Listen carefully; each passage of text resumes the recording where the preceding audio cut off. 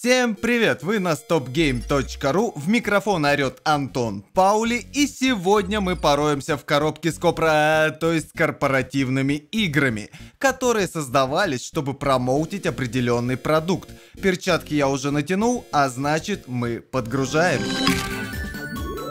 И в начале уточнение. Я не буду брать в расчет игры по фильмам и детским игрушкам. Во-первых, их миллиард, и рофлить с очередной Барби в поисках точеных пик или Hot Wheels не интересно.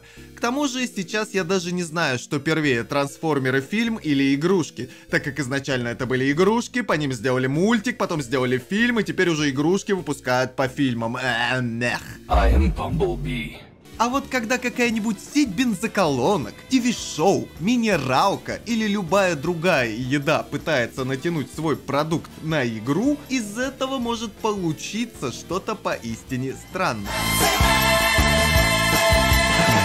Очень активно этим промышляют продуктовые бренды. Из свежего примера это визуальная новелла от KFC, где полковник Сандерс проверял на гетеросексуальность игроков – а еще здесь есть ходячий Джоджо референс, что непременно поднимет модность, стильность, молодежность в глазах целевой аудитории. А по ходу повествования вам крупным планом демонстрируют блюда из KFC, нарисованные с такой любовью, что к концу игровой сессии у тебя сосет под ложечкой и в голове созревает желание рвануть за большим и горячим боксмастером. Так что думаю, игра тут выполняет свою функцию но это 2019 год. А вот почти 30 лет назад конкурирующая компания с двумя золотыми арками в логотипе выпустила на рынок свою игру. И была это Макдональд Ленд, в которой чувствуются наработки других хороших платформеров, тех же самых ЧПД с Марио. От водопроводчика у нас тут стилистика уровней, а вот барандуки научили главного протагониста швыряться ящиками, ну и еще есть схожая глобальная карта с уровнями. Сюжет прост. Злобный хамбурглер, э, хамбурглер, э, кто бы это ни был, украл сумку с сюрпризами Рональда Макдональда. А мы, играя за белого или черного мальчика, должны ее вернуть. Впечатляет размах рекламной игры. В ней 5 миров, в каждом из которых по 6 уровней, что для интерактивной агитки с призывом сходить за Биг Маком многовато, но вряд ли вы дотерпите до конца, так как тугое управление сильной инерцией и разжижающий мозг музыка выпнут вас из игры намного раньше.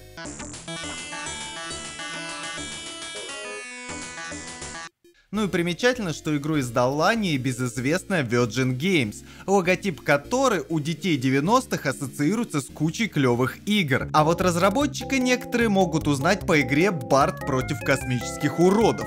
Не сказать, что хит, но ввиду виральности сериала игру, наверное, хотя бы заметили.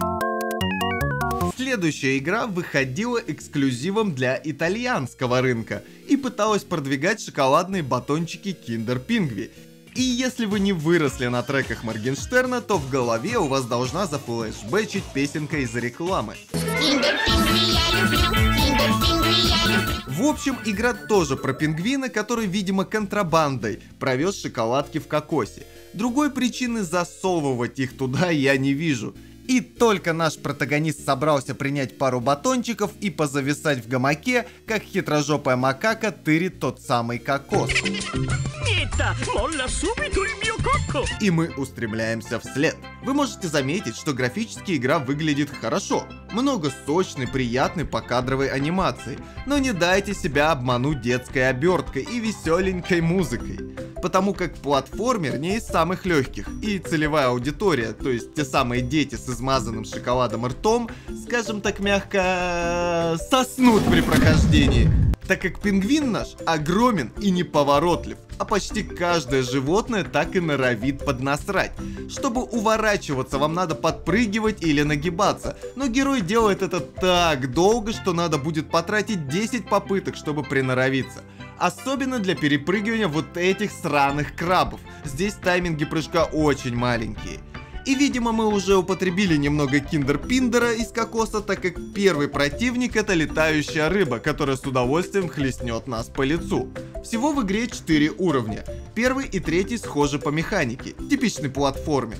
Второй и четвертый имеют уникальные головоломки. Во второй миссии нам надо швыряться, видимо, пухом из пупка, чтобы сбивать арбузы, закидывая их тем самым в рот бегемотам. А в финальном уровне надо прыгать по животным, чтобы дотянуться до мартышки. А на этом, в общем-то, и все. Магафин игры снова у нас, и мы можем дальше оттягиваться в гамаке. А остальные животные, прознав о кокосе, тоже стягиваются на точку. Игра очень короткая, ее можно пройти буквально за минутку, если совладать с управлением. У игры даже есть спидран-рекорд. А это значит, что у нас тут рубрика «Спидран в деталях». Пристегивайтесь, остановок не будет. Итак, для успешного забега вам надо передвигаться техникой бани хоп. Так пингвин прыгает намного быстрее, чем ходит пешком. Не обращайте никакого внимания на получаемый урон. И так до конца игры. Время! 53 секунды 560 миллисекунд. Рекорд поставил итальянский спидранер Назарена. Аплодисменты мастеру.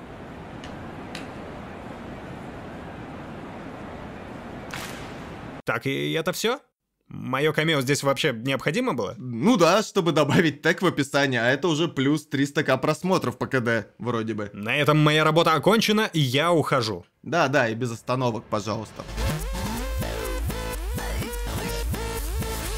В 2002 компания Danone тоже решила, чем я хуже остальных, и выкатила свою игруху по мотивам кислого молочки, Актимель. По сюжету злобные микроорганизмы Мегакраса атаковали желудок ребенка – и отряд солдат одноименный продукту спешит на помощь, который попадает внутрь этого пацана через рот. И начинается платформер, где вы продвигаетесь вглубь организма и собираете баночки Актимели. Что делают они внутри ребенка, я не знаю. Возможно, он тупой и глотает игрушки мини-лента. Ну не суть, по пути нам еще нужно собрать свой отряд, иначе с уровня не выпустят. Ну и можно пулять во врагов Аки Мегамен. Несмотря на то, что у игры вменяемое управление и персонаж делает то, что ты от него ждешь, нажимая на кнопки, играется довольно скучно. Единственное, что меня позабавило, это общая карта, которая показывает наше продвижение по игре. И вот я думаю, будет ли у игры логичный финал, когда мы спустимся в самый низ и упремся в дно. Зато теперь мы до конца близки. В тему платформеров у меня есть еще одна потешная игруля, которая продвигала оригинальный продукт и является еще представителем бразильского геймдева. Давайте я еще вам обложку покажу, а вы попробуйте угадать, что за продукт. Так, есть предположение? Михаил Круг ставит большой палец на фоне джунглей, что? Может это его неизданный альбом, где веселые мужики валят пальмы на югах? Перед вами локальная знаменитость Жильберто Барус. На момент выхода игры он вел танцевально-развлекательное шоу Сабадасу. В общем-то игра и рекламила шоу. Коробочке с интерактивным приключением прилагался купон, который можно было заполнить и отправить по адресу Академика Королева, э, в смысле на канал, и получить шанс выиграть призы а особо удачливый мог получить проходку на передачу и засветиться в этом самом бразильском ТВ. Бэкграунд я вам дал. Что же до самой игры, то это весьма коротенький платформер. Играем мы за самого мистера Жильберта. Он узнает, что в бразильских лесах завелся жуткий каннибал, который схватил животных и собирается их съесть.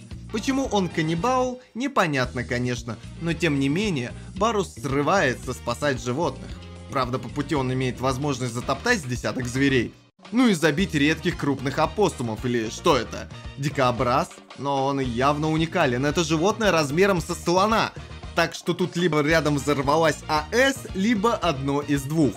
По кровожадности наш игровой Жильберто соотносится разве что с пацанами из Макдональдса Лэнд, которые не брезговали забивать бурундуков ящиком.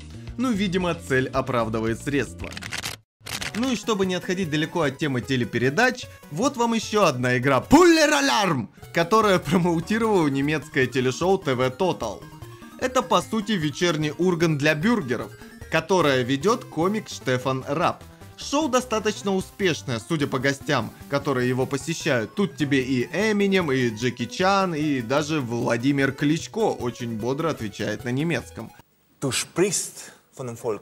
Сам же Штефан личность весьма эксцентричная. У него много шуток про наркотики ниже пояса, которые на грани. Ну или типа того. Самая занимательная выходка это попытка дать взятку Молдавии, чтобы его включили в олимпийскую сборную по лыжам этой страны.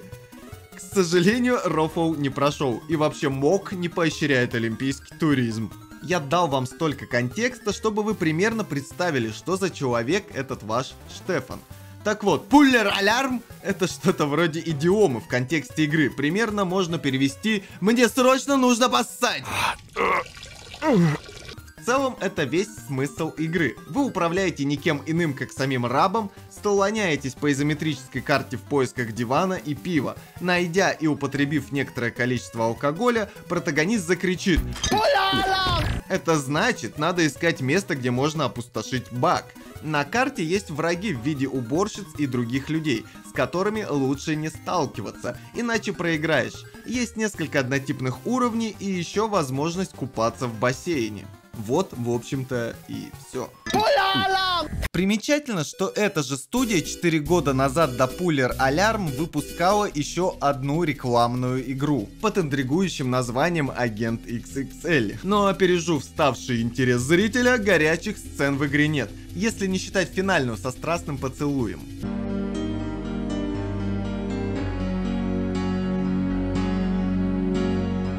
Сама по себе игра это классический Lucas Art Quest, где надо бродить, собирать предметы и иногда комбинировать их. Руки издателя, а в данном случае это Ritter Sport, особо не чувствуются, если не считать начальной заставки и интерфейса, который оформлен в виде этой самой шоколадки. На сюжетную канву это не влияет, что, в общем-то, хорошо, наверное. Итак, главный герой это Гюнтер Бунт, юная бестолочь, которая жила и не тужила, фанатела от всякого шпионского. Но внезапно Гюнтер выигрывает путевку в Турцию, и тут, как говорится, все завертелось.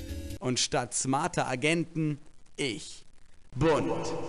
Gunther Bund. Таинственная блондинка в обтягивающем латексе, негодяи, шпионские гаджеты в виде часов, которые могут быть супермагнитом и выкидывать рыб из воды не знаю.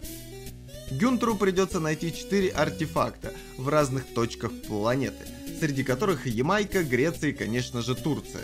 Кстати, о путешествиях и Турции. Тут на StopGame вышел очередной выпуск игровой географии, где Катя, прорываясь сквозь языковой барьер и перерыв кучу источников, сделала для вас отличную игровую экскурсию в турецкий геймдев. Настоятельно советую. Тут у нас снова Лавкрафт на Лавкрафте и Лавкрафтом погоняет. Но все это в киберпанковском сеттинге. Продолжим тему путешествий игрой, которую заказала не что иное, как Министерство туризма. Да, испанская провинция Мурсия решила продвинуть свой регион через игру. И это даже забавно. Перед нами внезапно экшен от третьего лица. Мы берем под контроль мальчика Муркида, который будет уничтожать овощей мутантов созданных злобным доктором. В конце каждого уровня доктору надоедает бесполезность его армии, и он спускается на землю со словами Если вы хотите, чтобы работа была сделана, делайте ее сами. Но в целом никакой опасности он не представляет и выносится как все остальные. Сам геймплей простой и бедный на разнообразие. Основная фишка проекта в том, что здесь скрупулезно воссозданы различные уголки Мурсии и достопримечательности. Можно осмотреть развалины замка Лорса, порт древнего города Картагена, собор Мурсии и святилище Каравака. А еще в игре есть один уровень на островах Хармигас, который отличается геймплейно. Там наш храбрый мальчик получает мини-субмарину, на которой ему надо собирать бочки. Наверное, химикаты. Ну и здесь тоже можно поглазеть на всякое, например, на затонувшие баржи или камни. Перед каждым уровнем вас ждет бриф, в котором говорят что-то типа «Муркис, ты должен уничтожить врагов в этом живописном регионе с богатой историей. Это старейшее место, здесь проходила великая битва». Короче, в вашем командоре просыпается местный гид, который так и хочет рассказать о насыщенной жизни региона. Жаль, что магнитики купить не предлагает. Целом, это маленькая бюджетная игра со своей фишечкой, которая за два года до Assassin's Creed предложила игрокам виртуальный туризм. Считайте Министерство Мурсии провидцами, а Ubisoft у него нагло сперла идею. Ну, если у нас и Министерство туризма уже делает игры, то стоит упомянуть и игру от Министерства солдатни.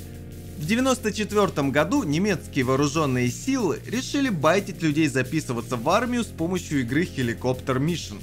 Это по сути такой Jungle Strike на пацифисте. Расхерачить ракетами Белый дом не дадут, но зато вдоволь покататься на вертолетике и заниматься заброской людей или эвакуацией, пожалуйста.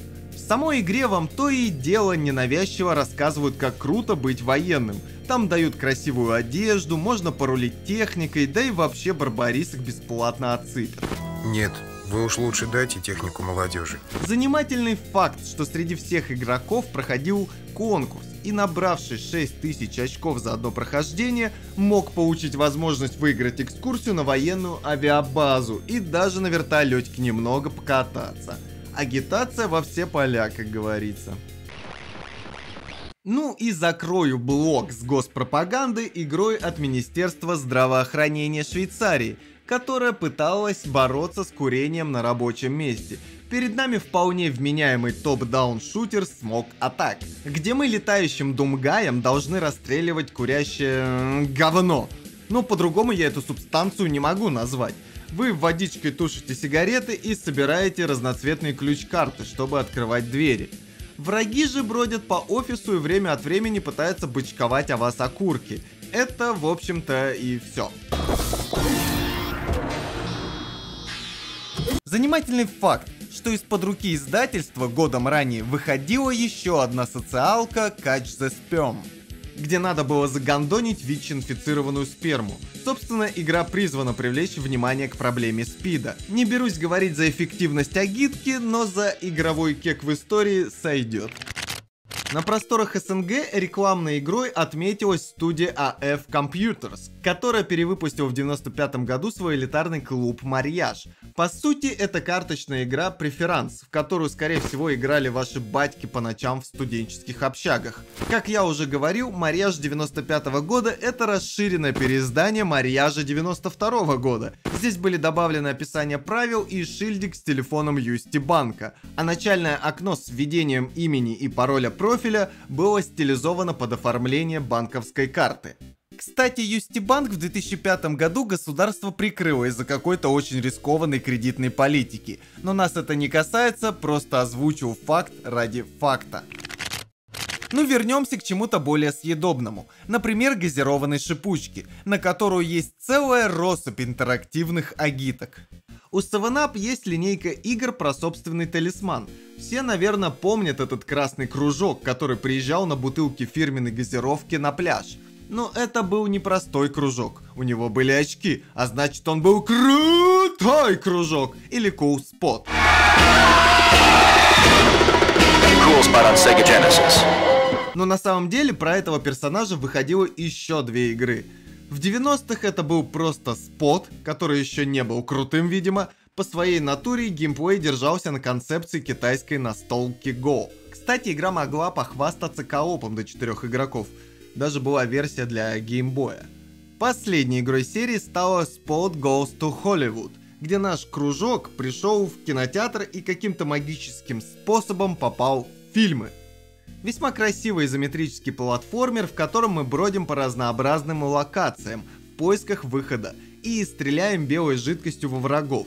Думаю, GameDis предполагал, что это тот самый 7-Up, но тут возможны варианты в зависимости от вашей испорченности. Из-за выбранной концепции игры уровни выглядят разнообразно. Мы постоянно перемещаемся между фильмами разной тематики. То у нас пиратское приключение с флебустьерами и кораблями, то фильм ужасов со страшными бабайками, то классические приключения Индианы Джонса. Вагонетки прилагаются. Ну и замыкают все это дело мир фантастики, где у нас есть и постапокалипсис, и отсылки на Звездные войны с чужими и троном.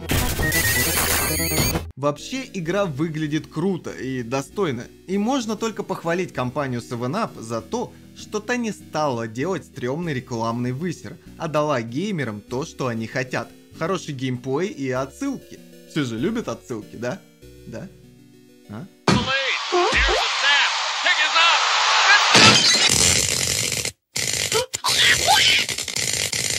Рядом с такой крутой серией лежит, наверное, не сколько хорошая, а в большей степени миметичная игра которая больше запомнилась веселым саундтреком, странными кат-сценами с живым актером, ну и общей идиотией, которая происходила вокруг. Это логично, если учесть, что все это продвигалось на японском рынке. Сама же игра представляет из себя простой раннер, где мы куда-то бежим, либо от кого-то убегаем, а все окружение хочет нас убить. При этом сложность у игры приличная, заточенная явно на азиатский скилл. О миметичности персонажа можно судить по многочисленному фанатскому творчеству. Наличие работоспособного HD-ремейка на Unreal Engine неофициального, конечно, но это только добавляет баллы маскоту шипучки. Ну и вишенкой известности можно считать костюм Pepsiman'а на Алиэкспресс для очень странной party на хате. Я думаю, здесь история из серии так плохо, что даже хорошо. Бестолковый персонаж, который хочет только дарить всем Пепси и при этом постоянно огребает. Но, наверное, в этом безумии есть какое-то очарование. Pepsi is... Компания PepsiCo свой продукт продвигала играми и у поляков. Правда, размах тут поменьше. Это небольшая игра про футбол во флэш-стиле. Повеселить она может, наверное, минуты две, не больше. Перетаскиваешь мышкой футболиста и кликаешь для удара по мячу. Из забавного, эти 2 мегабайта геймплея распространялись на полноценном диске, и даже сейчас на польских авито можно найти объявление о продаже игры за 5 золотых. Пепси dla zwycięzcy. Jasne. Ну и таких мини-игр можно отыскать целую россыпь. К примеру, нефтяная компания с отличным названием Aral AG в свое время спамила на почту поделкой Bike Flighter. В ней нам дают поуправлять весьма харизматичным мухом. В летном шлеме, косухе и штанах, стянутых с Битлджуса. Смысл игры лететь по шоссе и уворачиваться от байкеров, пытаясь выбить максимальный счет. Самое крутое, что тут есть, это именно сам мух, который явно создавался с большой любовью, и я бы, наверное, не отказался глянуть его оригин. И тут мы логично с темы байкеров и рекламы бензоколонок соскочим на тему промоута фильма, тем более он тоже про езду. Игра The Skippers van de Chameleon промоутила одноименный нидерландский фильм про гонки на лодках. Собственно, игра это и есть эти самые гоночки по водной глади, где а какая-нибудь Марио Карт на трассе разбросаны различные бонусы в виде ракет, ускорителей, прыжков и так далее. Выглядит игра страшновато, но закатить пару раз и поймать фан можно. Ну и чтобы вы знали, что делать посредственные игры по мотивам кинца это не прерогатива русского геймдева, так что смело помашем бумеру, антикиллеру и так далее. Я сказал в начале ролика, что не буду брать игры по фильмам, но сейчас озвучу причину, по которой нарушил собственное правило. Просто в шкипера Хамелеона можно поиграть за Кулакова, с двумя скинами на выбор. Кулаков в очках и Кулаков вышедший покурить. А вы все думали, почему он так долго курит? Ну, до причала путь не близкий. Так-то. Ну и на контрасте с предыдущей игрой порадую вас чем-то более комплексным. И это, ко всему прочему, еще и румынский эксклюзив – так чтобы вы не думали, что в Румынии только Казахстан снимается. Так, перед нами Тедди Щефтихоку... Тедди Вещихо... Э, нет, пусть тут нам поможет Google Баба. Или, если дословно перевести, Тедди и средства передвижения времени. Некоторые уже, наверное, догадались, что перед нами очередной продуктовый бренд Тедди. Fructe, pe cuvânt. Игра — это аркада от третьего лица, где наш медведь, перемещаясь по локациям, решает разные задачи. Игра начинается где-то на задворках Камелота. Собирая разбросанные тут и там монетки, вы натыкаетесь на ферму, обносите ее, местные гуси недовольны вашим хамским поведением и пытаются заклевать. Но мы стараемся не обращать внимания и собираем золото дальше. Наконец, после того, как мы настреляли мелочь, нас могут пропустить в деревню. Но местная солдатня все равно недовольна и пытается навешать люлей. Ну а что, целый медведь в деревню зашел. В конце уровня надо будет прийти к бородатому мужику в лес, и он за 50 монет кое-что вам покажет и кое-чему научит.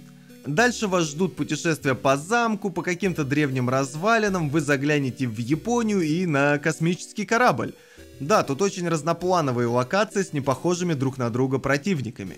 Важно отметить, что наш протагонист может получать люлей, но не отвешивать. Игра простенькая со своими скудными механиками и россыпью багов. Но сам стиль игры с дизайном окружения и персонажей очень притягателен и в купе с разнообразием локаций способен удержать вас до конца. Тедди то и дело вызывал у меня флешбеки из Little Big Adventure и Beyond Good and Evil. Но игре не хватает комплексности в подходе к сюжету и механикам. Видно, что игра создавалась для детей и рекламная направленность зарубает более активное взаимодействие с противниками – Кажется, что созданная разработчиками фэнтези вселенная способна на большее. Ну и напоследок я оставил нечто действительно годное. Полноценная экшен-адвенчура от третьего лица с налетом сюра а-ля American Маги Элис. И все это под эгидой жевательных конфет Skittles, ну, те самые. На самом деле я здесь приглашу к микрофону госпожу Краснопольскую, так как это был ее дебютный обзор в еще до стоп-геймовскую эпоху. Люблю Darkin Sky всем сердцем и готова петь ей дифирамбы даже спустя столько лет. В первую очередь за отличный юмор и самоиронию. Главная героиня, очаровательная пастушка слэш-волшебница Скай, время от времени в дребезги разбивала четвертую стену своими едкими комментариями. Например, во время решения одной из головоломок протагонистке нужно было закинуть удочку в реку, и она комментировала это нехитрое действие следующими словами. It's an action-adventure game. No, it's a fishing simulator. This adrenaline overload is gonna kill my heart. Сюжет в Dark in Sky одновременно и высмеивает многие шаблоны жанра фэнтези, и всецело из них состоит. Главная героиня — это сирота, которая находит волшебный предмет и становится той самой избранной, что спасет волшебную страну от темного властелина. А еще у Sky есть острый на язык магический помощник. А какие в этой игре локации? Какая музыка? М-м-м. Ну ладно, давайте я все-таки пододвинусь ближе к теме ролика — рекламе. Dark in Sky изначально должна была продвигать Skittles, и даже сама концепция магических камушков, которые падают прямо с неба, была навеяна реклама этих конфет. Но по итогу от Skittles в игре только и остались, что разноцветные камушки с буквой S, которые главная героиня перетасовывала, составляя заклинания. И глобальная цель — вернуть эту самую волшебную радугу в мир Sky. Когда я 19 лет назад играла в Dark in Sky, страшно вспомнить, как давно это было, то я и подумать не могла, что игра как-то связана со Skittles. Настолько она в итоге оказалась самодостаточной. Ну и в принципе хорошо, что не знала, я эти конфеты никогда особо и не любила. Mm-hmm. Все ясно. У вас скитлс протек. Когда я начал копать тему, я удивился, насколько много разных брендов пытались продать себя геймерам. Самая ранняя игра, которую я нашел, это Тапер 1983 года, где играя за бармена надо подавать посетителям пиво, толкая его по барной стойке. Первая версия игры была брендирована пивом Budweiser. Но тут, как говорится, количество не перешло в качество. Большинство таких игр представляют ценность как исторический артефакт, а не игровой, что не умаляет достоинства редких бриллиантов. В большей степени, наверное, это все-таки связано с тем, что у компании не было цели, бюджета, понимания, как сделать хорошую игру и порадовать геймеров. Маркетологам нужен был сам факт присутствия в индустрии, но для чего – непонятно. Плюс корпоративные ограничения от брендов сужали возможности разработки. Типа давайте сделаем платформер, но без насилия. Или воюем только со всякими инопланетянами или грязью из-под ногтей, чтобы никто не обвинил бренд в пропаганде жестокости или чего-либо другого. На самом деле, вместо того, чтобы делать какую-то кривую игру про себя любимых, я бы на месте компании находил инди-студии с перспективными проектами и просто вливал в них бабло и был информационным партнером в обмен на место в начальной заставке и упоминания. Условный мидбой не стал бы хуже, если бы в начале на пару секунд высветился логотип Coca-Cola с припиской «Спасибо за помощь». А бренд с такого еще долгие годы, наверное, мог получать респекты за свою помощь в реализации игры. И хочу уточнить, я тут говорю именно в большей степени о меценатстве, где бренд не влезает в творческий процесс. Ну, в моей голове в идеале работает так. Но, как показывает реальность, тут же найдутся ушлые ребята, которые будут генерить игры-пустышки только ради того, чтобы соснуть денег, если появится такой условный фонд поддержки игр у бренда. А что вы думаете о подобном формате? Поделитесь своим мнением, нужны ли вам игры от брендов. А также может у вас в геймерском опыте отыщется одна из таких игр, которая подарила часы радости в свое время. Расскажите о ней в комментариях. Я же с вами прощаюсь. Всем удачи. Всем расход. Дора в